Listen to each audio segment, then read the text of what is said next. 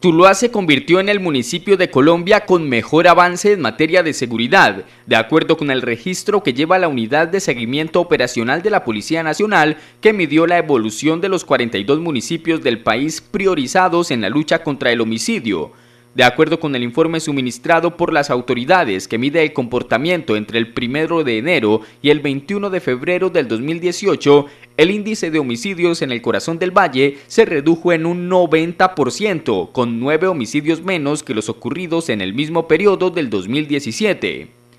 Con un comportamiento positivo también aparecen las ciudades de Palmira con una reducción del 36% y Cali con una disminución del 12%. Jamundí con 13 homicidios no logró disminuir este índice, mientras que Buenaventura tuvo un aumento del 125%, Buga del 50%, Jumbo del 22% y Cartago sufrió un incremento del 11%.